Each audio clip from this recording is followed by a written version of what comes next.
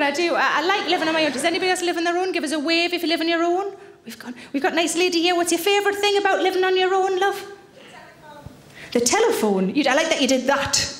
Just in case I, you know, it's just the north I live in. It's not, you know, the dark ages.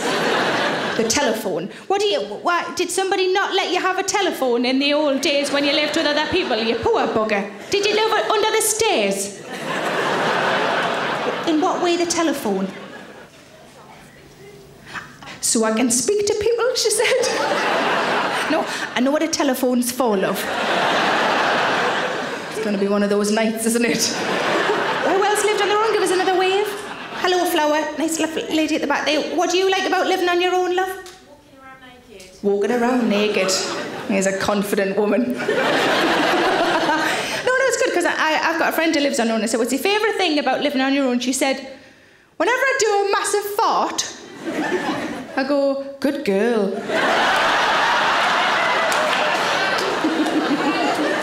can have that if you like. Lady at the back, uh, is it a flat or a house that you've got? Flat. A flat. And if somebody broke into your flat while you were in it, what would you hit them with? Have you thought this through? Not so much. No, no, well, let's have a think now. If you're like. We've got a fixer. If you're like in the living room, for example, is there something to hand that you could clobber somebody with? Remote control. A remote control, you see? Multi purpose. I can watch whatever telly I like and I can fucking hit somebody. No, because I asked a lady recently and she didn't know either, and I said, What's normally to hand? And she went, Empty bottles? so I don't even think you'd notice if somebody broke in. I don't care who you are. Shut the door on your way out. So I can feel a fucking draft. My friend's got a rounders bat down the side of her bed. Uh, I mean, for protection. Oh. Um, but she's been told by a policeman that that's not allowed. It's classed as an offensive weapon. The only way she's allowed to have a rounders bat down the side of her bed is if it's accompanied by something it would normally accompany. So now she's got a rounders bat and a round ball as well. The same because I've got a massive knife and a massive fork.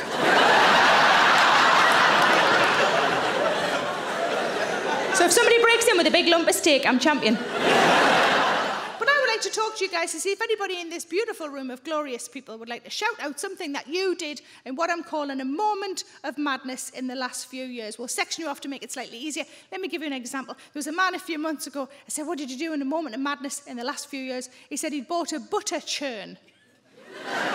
and I love the sheer panic you clearly had. What if we run out of butter? I asked him how many times he'd used it. He said just the once, because it turns out it makes a fuckload of butter. I think the easiest way to talk to you guys is in the sections you're sort of already in. So we'll start at the top, we'll work our way down the room. So that lovely upstairs section. Anybody in that upstairs section want to shout out something you did in a moment of madness in the last few years? Anybody want to start us off? Got engaged. Okay, we'll come back to this one. Hold. Well, there's so much to talk about. Quite a lot to unpack. Lady over here, shout out again. Had a baby. You had a baby. Is it your first baby? Yeah. Yeah. Is it also your last baby? Yes. Oh God. Somebody else answered. That's my arm. It's who? My arm. Your aunt. Is your aunt? Did your aunt do a lot of babysitting by any chance? She does indeed. She lives up the road. She lives up the road. Who moved into the street first, though? I did. She's proper arsey, isn't she? I love it. And then she was like, I'm pregnant. I'm going to move in near my aunt. This is genius. Uh, what did you have, a girl or a boy? Baby boy. A baby boy. Never mind, you can try again for the proper ones. Um, no, it's fine. Girls are better. It's just a fact. Did you have your baby during the time when it was really scary in the hospitals, my love? It's always scary having a baby. Is it? I've had some terrifying shits in my time. I really have.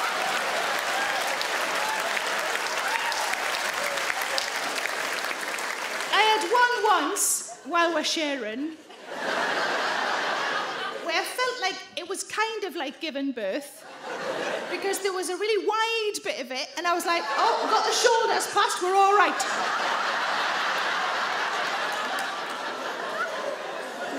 but I appreciate it is always scary. Round of applause for the lady with the new baby. Lovely. But I found recently that I'm not very good at relaxing. I'm get, I, I get quite wound up. I'm on the go all the time. I'm a bit of a workaholic, to be honest. And uh, when I get in from, from work, wherever I've been, I'm rubbish at that winding down bit before you go to bed. I'm quite interested in how other people relax. A nice fella in the front. Hello, fella. How do you relax when you get in from wherever you spend your days? Is there something that you always do to help you wind down? Probably sit down, watch TV. You, you sit down. That's a good start, isn't it? Just sit down. Oh, I'm relaxed. And you watch a bit of telly. What time do you normally put the telly on? About six. About six. You see, anything from six onwards, quite good for a few hours, isn't it? Quite good telly then. When I get in from work, it can be anything from midnight to four in the morning. So unless I've remembered to record something, I'm stuck with freaking Babe Station. Babe Station. If you don't know what Babe Station is, it's a soft porn channel where on the screen is a relatively uneducated lady. I'm guessing and, uh, and she's, she's on the phone, uh, and across the bottom of the screen is a telephone number that you can ring, presumably to talk to her for sexual reasons. Although I don't think there are any rules that say you can't ring her up and chuck her a couple of sums and see how she gets on. I'd probably just give her careers advice because I used to work for the job centre. Be like, oh, you're very good on the phones. You could work for Orange. They used to people ringing up and moaning.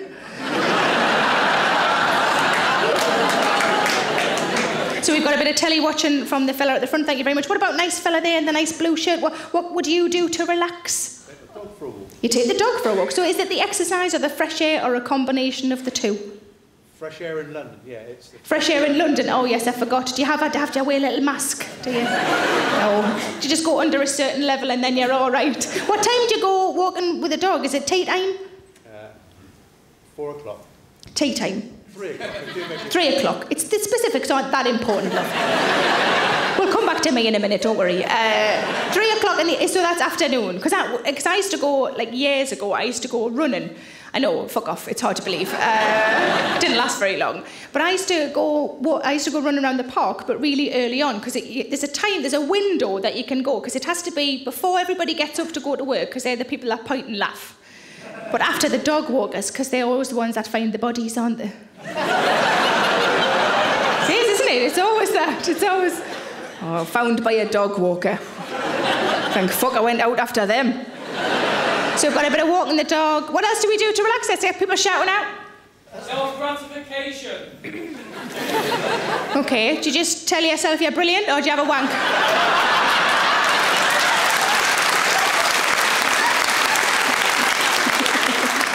And have we got anybody in who's done anything really risky? Anybody who's done a bungee jump? Yeah, yeah, fella there's done a hello flower. How many bungee jumps have you done? One. What's the reason you've only done one? You were drunk. You were drunk when you did a bungee jump. How was that even allowed? In Gran Canaria. Oh, you do that like, oh, it's Gran Canaria. Everybody's pissed there, man. There was a fella the other day who'd only done the one, and I said, What's the reason you've only done one? Thinking it might be because, uh, you know, it's expensive. Maybe that was it. And he went, No, no, it's because I shot myself. and then the next night I had a lady who'd only done one, and I thought, I better know the answer to this question. She said, No, I didn't shit myself. She said, I did do a fanny fart all the way down.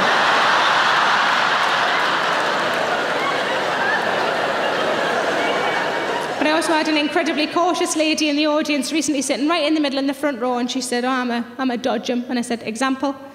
And she said, Do you check under your bed? I said, No, because I'm not fucking seven. She said she'd seen an episode of CSI.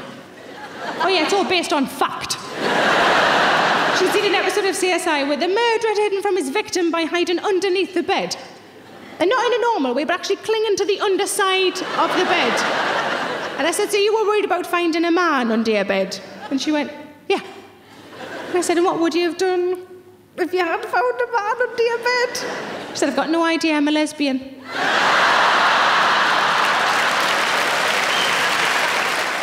we had somebody else upstairs. Do you want to shout it again? Uh, a lightsaber. It was a uh, nerd sort of impulse buy. A nerd impulse buy. Now, You've got your reasons already ready, haven't you? Just.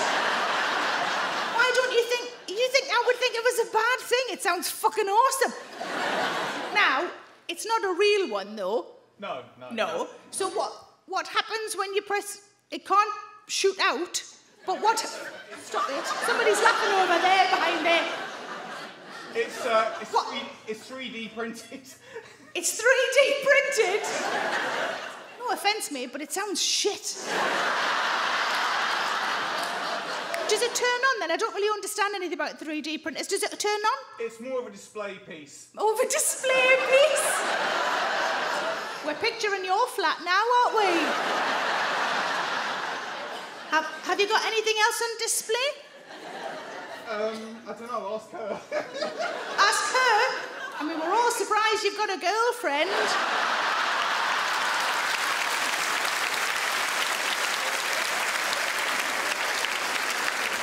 Actually, I can't say it. Might be his mum. That would make more sense, wouldn't it? Uh, I love that you bought yourself a lightsaber. Well fucking done. Round of applause for the Star Wars fan. Good work. Upstairs. Middle section. Anybody want to shout at something you did in a moment of madness? Got a hot tub. Oh, you see, have the confidence. A couple of people upstairs, all of a sudden, bah, bah, bah, bah, bah. There's somebody over here. Shout it again. Got a hot tub. You got a hot tub?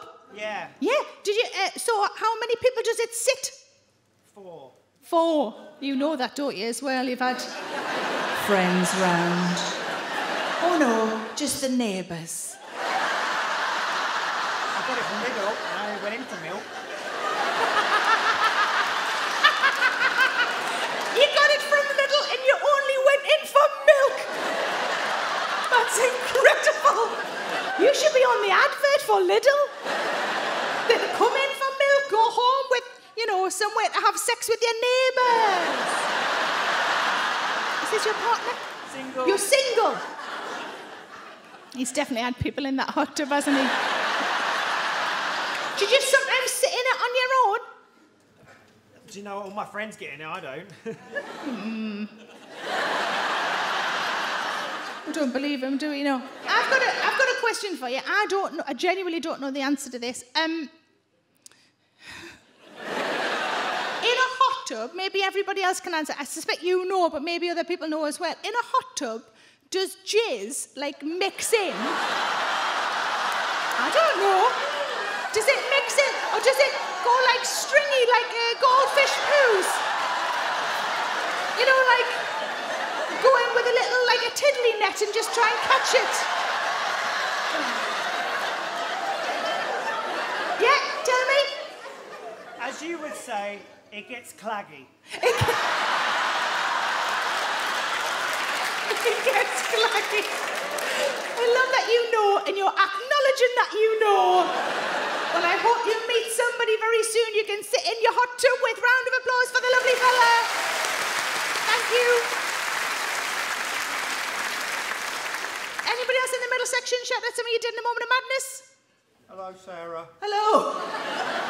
Are we just having a chat or have you got an answer to the fucking question, Flower?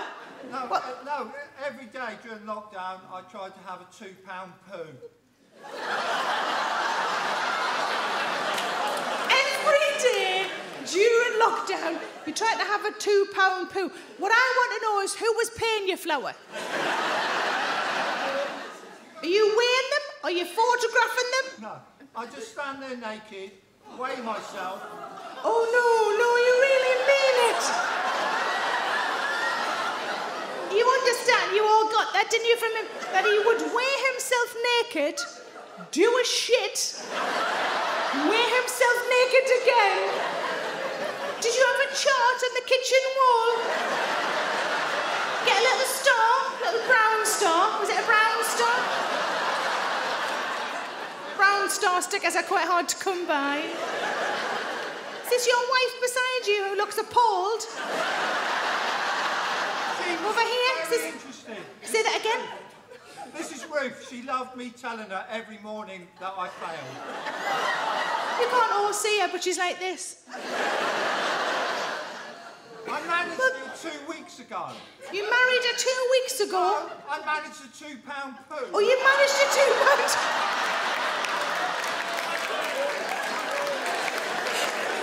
Two people cheered, and they were definitely men. Got a new project. I've got a new project. Well, I'm very proud of you. Congratulations on your new hobby, Flower. Round of applause for the poo Have we got single people in tonight? Give us a woo if you're single. We got couples in? More of you, but not as enthusiastic. we got a couple at the front. How long have you two been together? 30 years. 30 years. Well, some places that would have got a round of applause. Everybody just went, fucking hell.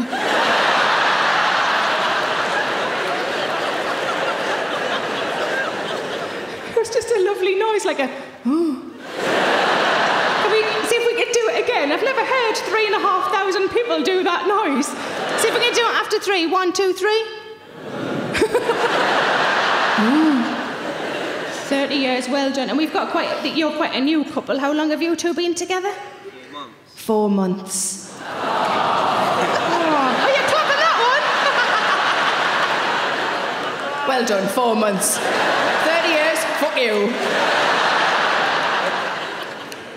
I've been with my fella for six years, and it's gone really well. A friend of mine, though, recently fell in love, even more recently than you two. She, they, they've been together about a month, and they're adorable. She'd been single for a couple of years, so that means that little bit more to her, you know. And they're so, they're so lovely. They're so adorable, like to watch, you know. Uh, no, I mean, no, no. I mean when I'm with them. I don't mean like this. She shut her bedroom curtains, what a slag. But she said to me that whenever she sees him, she gets sweaty palms. Isn't that lovely? It's adorable, isn't it? Four months together. What other signs of love do you think there are apart from sweaty palms? Give us a suggestion. What do you think? I miss her a lot when I'm not with her. You miss her when you're not with her. I can't take the piss out of that. I really want to, but I can't. You miss her. Oh, that's so adorable. And, and 30 years together, but your palms are bone dry, other flower? what are the signs of love? We could clearly learn a lot from 30 years together. It's very, very impressive. What do you reckon? What are the signs of love? A kiss before you go to bed. A kiss before you go to bed. If I, if, I get, if I get home and she hasn't changed the lock. If you get home and she hasn't changed the lock.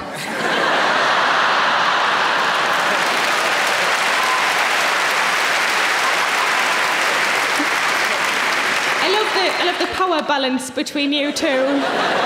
You just want a kiss of him. He's worried he's never going to see you again. Or any of his things, or CDs, or anything. Just bye. That's bless you. That's weird, but nice. Um, let's open it up to the rest of you guys. What about upstairs? What the signs of love? Do we think we've got sweaty palms? We've got missing each other. We've got a kiss before bed. Whereabouts was the kiss? Lips. All right. Okay. Okay. don't. Don't. They're making us say top or bottom. Top. That's fine. Uh, and not being locked out. Or, well, forever, permanently. What other signs of love upstairs do we think?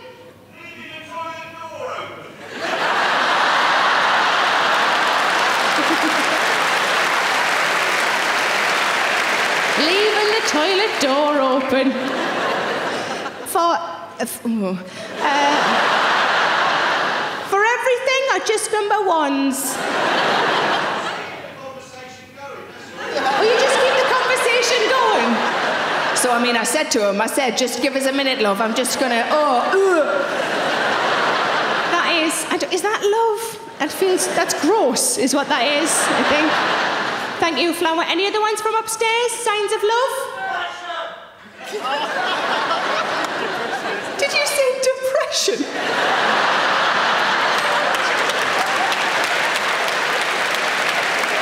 Where are you? Give us a wave. Are you upstairs? At, right at the back there, love. Wow, you were louder than me, and I've got a microphone. Are you in a relationship in the minute, Flower?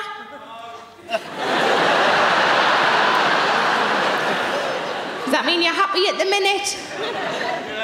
Yeah. Sounds thrilled, doesn't he? Yeah. What are the ones from upstairs? Butterflies Butterflies is a lovely one. That's really nice. Thank you, Flower. There was, there was a fella the other day trying to say, but I think he was trying to say butterflies. What he actually said was, sometimes I get a fizzy feeling down below. what about downstairs? What other signs of love do we think? Say that again. Keeping out of trouble. Hmm. Did you get into a lot of trouble pre-relationship, Pet? What was that? The, oh, it was a shit relationship. oh, are they with you tonight? Is this the way you break up with somebody? Just wait till an appropriate question comes up at a comedy show. Been meaning to tell you for ages. It's a shit relationship. and we had another answer over here, didn't quite catch it. Did you did somebody say chlamydia?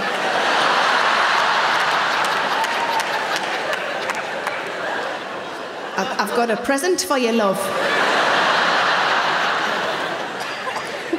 it's a hospital appointment.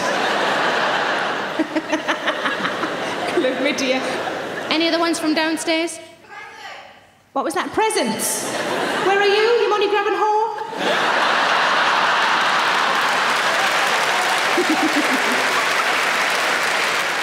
Thanks for watching. You know what would be great is if you liked and subscribed. I'm so needy, I'm so sorry. Uh, and why not come and see me live? And the tickets are available at sarahmillican.co.uk. Put the kettle on and settle in.